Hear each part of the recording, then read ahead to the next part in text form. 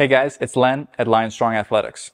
Today I want to go over a very unique exercise for your biceps that you can implement into your program on an arm day. It's called the Zottman curl. And it's very special in that we get to hit a bunch of muscles at one time. Before we get into it, hit that subscribe button and leave me a comment if there's any exercises you want to learn about. The Zottman curl is an exercise you probably can't figure out from the name, and that's because it's named after George Zottman, who was an American strongman in the early 1900s. And people love to just name exercises after themselves, which is super weird, but we do it a lot. But what I want to get into is how our biceps work first so that you can understand how this exercise is so beneficial. And the first part is going over the muscles and what their function is. So the first one, that big ball up top, that's called your bicep brachii and it contracts best when our palm is faced up and we squeeze up like this. And you can see the ball forming at the top there. That's your bicep brachii. Now we also have a muscle called your brachialis, and that one sits from here to about here, and it's underneath this bicep brachii. And it contracts best when our hand is flipped over so our palm is face the ground. Okay? And I squeeze it like that. And if I rotate back and forth, you can see a fairly small shift in what muscle is working. So right now I have the bicep brachii contracted, and now I have the brachialis contracted. So I can go back and forth like that. And that's basically what a Zottman curl is. We're going to be going back and forth between contracting our bicep brachii and then contracting our brachialis. Now, because the brachii is a lot stronger than the brachialis is, or that position is a lot stronger, I should say, we are doing the concentric movement using that brachii, or yeah, brachii and the eccentric movement, or going down, using the brachialis.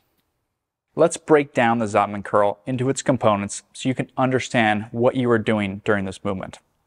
The first part of this is a concentric contraction.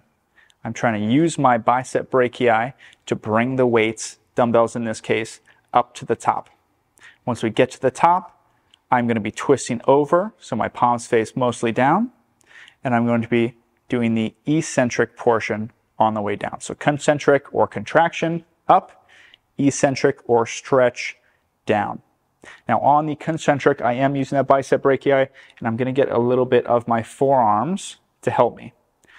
Now as we twist and reverse and do the eccentric part of this exercise, I'm going for the brachialis, and I'm also going to get a little bit of my extensors, my brachioradialis as well, bringing me back down. So it's really working all of the muscles in my biceps here and the muscles in my forearms. That's why it's such a cool exercise to kind of tackle all of your arms at once. One of the common things people get wrong with this is having their elbows go out wide during this exercise. In this case, my shoulders can help me do the lifting. So what I want you to focus on is keeping these elbows tight. You can even potentially pin them to your body for this instead of having them floating, just to isolate a little bit better, take your shoulders out of this movement. Okay? We're going to bring that up with my elbows tight, rotate, and twist down. Now, a lot of big, another big problem with this is tension, and keeping tension is huge. If you see my videos, I love to keep tension during my exercises. At the top here, I want to make sure that I'm not resting as I'm doing this movement. I still have it out a little bit, and I'm flexing and keeping tension as I rotate and I go down, I still want to make sure I keep tension at the bottom. So right now my arms are working. I have tension. If I let it go all the way down, I lose tension. I'm resting. So we want to try and keep tension during that transition period on both ends. So I'd bring that weight up, squeeze, rotate, down slow, stop within tension, rotate back. And you can be a little bit smoother with that. You don't have to be so stoic and static. I'm rotating, I'm keeping tension, working my brachii, working my brachialis, and going back and forth.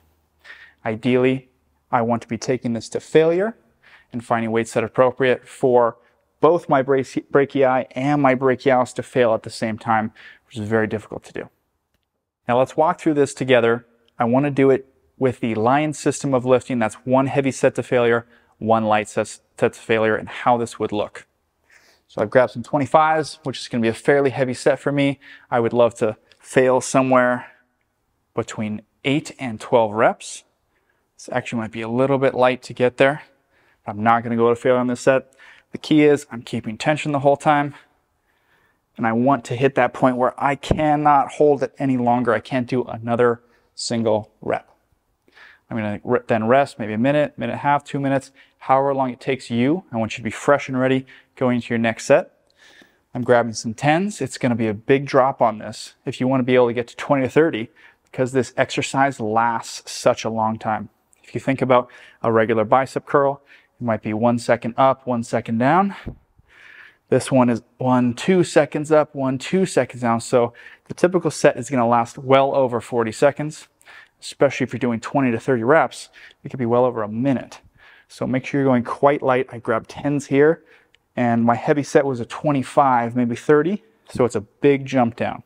You're to take that right to failure and your entire arm is to be blown up. It's to be on fire. It's to feel real great and you're to get a lot of growth.